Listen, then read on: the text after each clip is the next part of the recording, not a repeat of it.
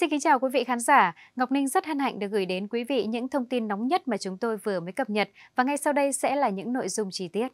Số người chết vì trận động đất lớn tấn công Nhật Bản vào ngày đầu năm mới 2024 đã lên đến hơn 80 người.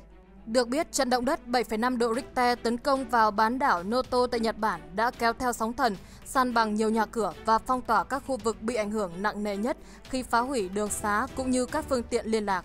Theo hãng tin Reuters, dù trận động đất mạnh 7,6 độ đã kết thúc được 2 ngày, hơn 33.000 người được sơ tán tại tỉnh Ishikawa, Nhật Bản và người dân sống tại nhiều khu vực phải đối mặt với cảnh thiếu lương thực, nước ngọt, điện và phải sử dụng tín hiệu điện thoại chập chờn. Ngay sau khi động đất xảy ra, chính phủ Nhật Bản đã lập tức gấp rút triển khai công tác cứu hộ và viện trợ cho những người sống sót. Tuy nhiên, đường xá bị cắt đứt, cơ sở hạ tầng bị hư hỏng và vị trí xa xôi của những khu vực bị ảnh hưởng nặng nề nhất khiến nỗ lực cứu hộ trở nên phức tạp. Bên cạnh đó, những người sinh sống tại khu vực gần tâm trấn cũng phải đối diện với nhiều khó khăn khi các vật phẩm thiết yếu đang cạn dần, phải tạm sinh sống trong điều kiện thiếu thốn và thời điểm thời tiết mưa lạnh. Không lương thực, nước uống với người sống sót trong thảm họa động đất Nhật Bản. Trong cuộc họp cấp vùng về tình hình thảm họa khẩn cấp sáng ngày 3 tháng 1 vừa qua, thị trưởng của các thành phố chịu thiệt hại nặng nề nhất đã yêu cầu chính phủ Nhật Bản nhanh chóng dọn dẹp mặt đường để tăng tốc độ vận chuyển hàng cứu trợ. Kể cả những người mới thoát được tử thần trong gang tấc cũng sẽ không thể sống sót mà không có đồ ăn và nước uống. Chúng tôi chưa được nhận dù chỉ một ổ bánh mì, thị trưởng thành phố Suzu Izumiya Masuhiro cho biết.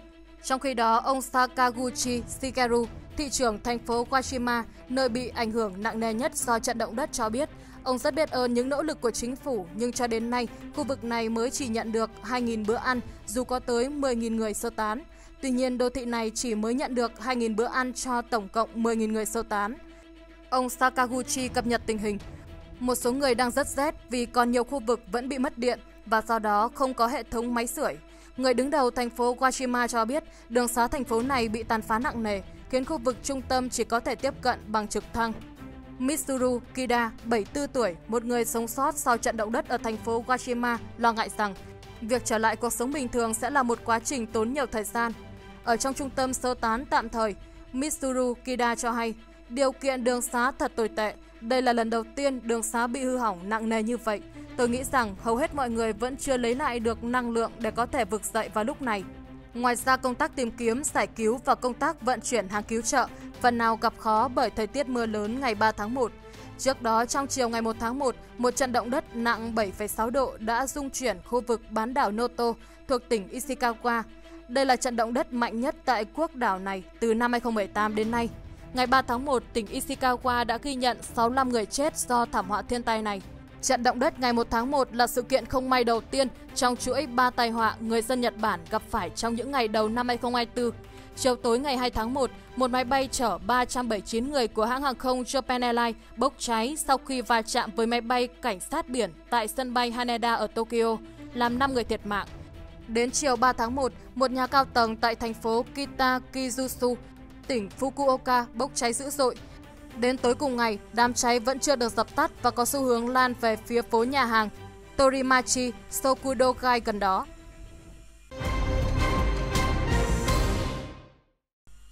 Thảm họa động đất vào những ngày đầu năm 2024 mạnh 7,6 độ diễn ra ở độ sâu 10 km đã làm rung lắc bán đảo Noto, tỉnh Ishikawa và khu vực xung quanh ở miền trung Nhật Bản.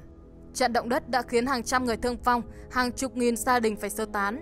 Ngay giữa lúc hoạn nạn như thế này, một phẩm chất đặc biệt của người dân Nhật Bản lại càng rõ hơn, đó là sự kiên cường vượt qua khó khăn. Chính vì điều kiện địa chất tự nhiên của Nhật Bản thường xuyên xảy ra động đất mà có lẽ trên trái đất này hiếm có một dân tộc nào có mức độ sẵn sàng ứng phó với thảm họa cao như vậy.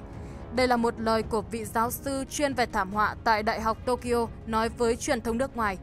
Ba ngày sau trận động đất, tại khu vực tâm trấn, mọi thứ đang trong tình trạng hoang tàn, đổ nát. Hàng chục nghìn ngôi nhà đã bị phá hủy, rất nhiều người đã thiệt mạng hoặc bị thương nặng khi bị vùi dưới đống đổ nát của cơn địa chấn ngay ngày đầu năm. Công tác cứu hộ đang được gấp rút triển khai. Trong lúc này, sự chung tay của cộng đồng là điều quý báu.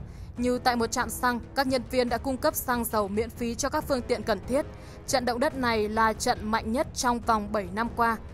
Thủ tướng Nhật Bản Kishida Fumio cho biết, một con đường bị hư hại đã cắt đứt lối vào khu vực ảnh hưởng thiên tai. Lực lượng cứu hộ hiện gặp rất nhiều khó khăn trong việc tiếp cận mũi phía bắc của bán đảo Noto. Thủ tướng Kishida Fumio cho biết, công tác cứu trợ các nạn nhân đang là cuộc chạy đua với thời gian và chúng ta đang ở giai đoạn quan trọng nhất. Ngày 3 tháng 1, lực lượng cứu hộ đã được chính phủ Nhật Bản tăng cường từ 1.000 lên 2.000 nhân sự và giới chức nước này vẫn đưa ra cảnh báo về sạt lở đất. Chính phủ Nhật Bản nhanh chóng khuyến cáo người dân tìm nơi trú ẩn an toàn, lánh nạn đến những nơi kiên cố và sẽ được phát nhu yếu phẩm thiết yếu. Wi-Fi được cung cấp miễn phí tại các tỉnh bị ảnh hưởng để người dân duy trì liên lạc. Đường dây nóng cứu trợ liên tục được phát đi trên TV bằng nhiều thứ tiếng, bao gồm cả tiếng Việt. Các nhân chứng nói trận động đất ngày đầu năm tại Nhật có rung chấn rất mạnh xảy ra liên tục, khiến nhà cửa rung lắc dữ dội. Nhật Bản ngày 1 tháng 1 hứng chịu 155 trận động đất trên toàn quốc, chủ yếu là ở khu vực miền Tây, trong đó mạnh nhất là trận 7,6 độ ở tỉnh Ishikawa. Loạt rung chấn xảy ra vào ngày đầu năm mới, thời điểm hàng triệu người Nhật tới thăm đền chùa cầu may. Một người đang đi cầu may tại đền Keita ở Hakui, thành phố Kanazawa, điểm du lịch nổi tiếng tại Ishikawa, cho hay cảnh tượng rất đáng sợ khi ngôi đền liên tục rung chuyển. Hình ảnh được chia sẻ trên mạng xã hội cho thấy cổng đền đổ sập, xung quanh là người dân tụ tập với gương mặt lo lắng. Nhiều nhà cửa ở thành phố Washima, tâm chấn trận động đất, bị hư hại đổ sập. Đường xá hư hại với nhiều vết nứt lớn, trong khi người dân hoảng loạn tìm cách sơ tán. Ngay khi rung chấn xảy ra, Azako Daikai cùng chồng và hai con lập tức sơ tán đến trường tiểu học lân cận. Tôi từng trải qua trận động đất lớn năm 1995 nên hiểu rõ sơ tán là an toàn nhất. Chúng tôi vẫn chưa thể quyết định khi nào thì sẽ về nhà. Đài cai nói, tại ngôi trường 4 tầng chật kín người lánh nạn. Trận động đất cũng làm rung chuyển các công trình ở thủ đô Tokyo, cách Wajima khoảng 500 km. Ban đầu mọi người còn đùa nhau rằng trận động đất xảy ra đúng ngày đầu năm mới – nhưng ngay sau đó là các đợt rung chấn rất mạnh và dữ dội xảy ra liên tục và không giống động đất bình thường, nguy hiểm hơn nhiều. Daniel Smith, nhân chứng ở Tokyo kể lại. Cơ quan khí tượng Nhật Bản GMA phát cảnh báo sóng thần ở các tỉnh ven biển, kêu gọi người dân nhanh chóng sơ tán đến vùng cao.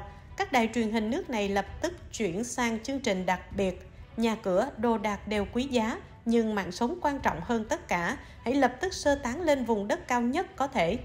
Người dẫn chương trình của đài NHK nói, khoảng 100.000 người ở chín tỉnh ven biển được lệnh sơ tán. Các đợt sóng cao khoảng 1 mét sau đó ập vào nhiều vùng biển phía Tây Nhật Bản và phía Đông Hàn Quốc.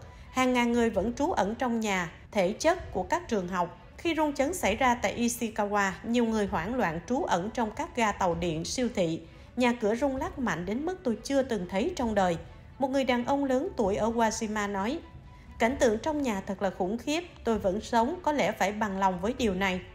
Ngay khi điện thoại phát cảnh báo động đất rung chấn xảy ra khiến tuyết văng khỏi mái nhà, phương tiện các công trình rung chuyển, có thể nghe rõ tiếng cửa sổ va đập, tất cả đều hoảng loạn. Johnny Wu, du khách Đài Loan kể lại khoảnh khắc động đất ở Nagano. Giới chức xác nhận ít nhất 30 người thiệt mạng, thương vong có thể tiếp tục tăng lên. Các nhà mạng lớn của Nhật Bản đã phát sóng Wi-Fi miễn phí tại các tỉnh bị ảnh hưởng. Giới chức đã dỡ toàn bộ cảnh báo sóng thần nhưng vẫn có ít nhất 6 trận rung chấn mạnh được ghi nhận trong sáng nay. Nguy cơ lở đất và sập nhà ở những khu vực rung lắc mạnh vẫn ở mức cao. Người dân cần duy trì cảnh giác trong vòng một tuần tới. Lãnh đạo Shima nói thêm rằng nhiều trận động đất lớn có thể xảy ra trong tuần này, đặc biệt là ngày 2 tháng 3 tới. Takashi Wakabayashi, nhân viên cửa hàng tiện lợi ở Ishikawa nhớ lại khoảnh khắc hoảng loạn khi hàng hóa rơi khỏi kệ lúc rung chấn tấn công. song cho biết vấn đề lớn nhất là dòng người đổ về mua nhu yếu phẩm sau đó. Họ mua nước đóng chai, cơm nắm, bánh mì. Chúng tôi ghi nhận lượng khách gấp 3 lần ngày thường, anh nói. Những thông tin vừa rồi đã khép lại chương trình của chúng tôi. Cảm ơn quý vị và các bạn quan tâm theo dõi. Đừng quên chúng tôi luôn cập nhật rất nhiều thông tin bổ ích với tất cả các khung giờ trong ngày. Xin kính chào và hẹn gặp lại.